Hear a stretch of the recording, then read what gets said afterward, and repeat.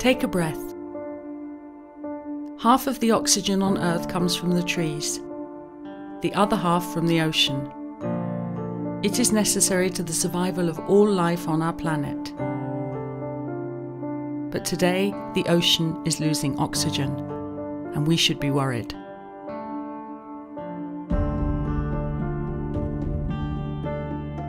Deoxygenation is a, is a complicated word, I guess, for something which is relatively straightforward in one sense.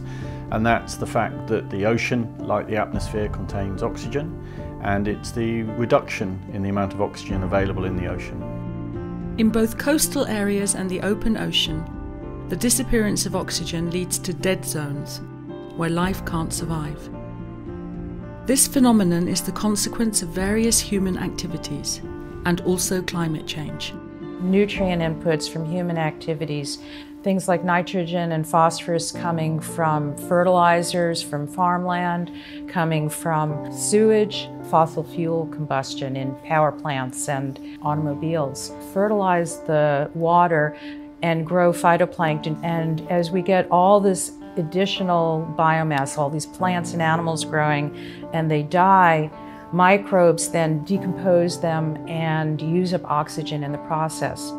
There are physical conditions that are also important.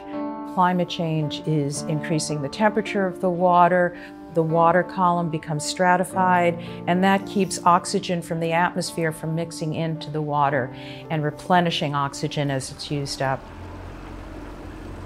Animals that can't move out of the way of low oxygen die or can become more sensitive to disease. They don't grow as well, they don't reproduce. Things like fish and, and mobile crustaceans like crabs try to escape from low oxygen areas, but when they do, they may become more susceptible to overfishing because fishers know how to target areas that the animals are using as a refuge from low oxygen. Ocean deoxygenation actually has solutions, and in some cases, these are the exact same solutions that we have for global warming. The most important would be to reduce our greenhouse gas emissions. Another important thing we can do is reduce our nutrient inputs to the ocean from land. We know that we can improve farming practices.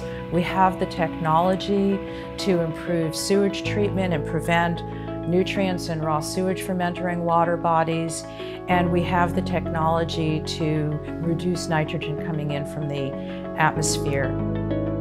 Deoxygenation, I think, was really totally overlooked uh, the past 10 years. Uh, a lot of other stresses were highlighted.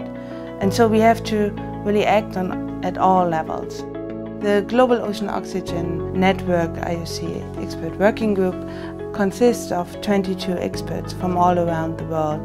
Those are really the best scientists working on uh, deoxygenation right now.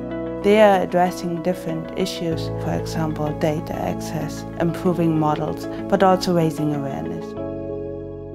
I think the next decade will be the decade of ocean deoxygenation. I think this is a looming problem that is quite severe and a problem that almost nobody knows about. We're no longer the casual observer in the room looking at the experiment. We've unwittingly put ourselves in the middle of this experiment, which is now rolling out. In the recent report, we're really trying to give people a bit of a sense of how serious is this problem. As humans, we can address this issue. There's much we can do. It's happening on our watch, and we need to be prepared to find the solutions.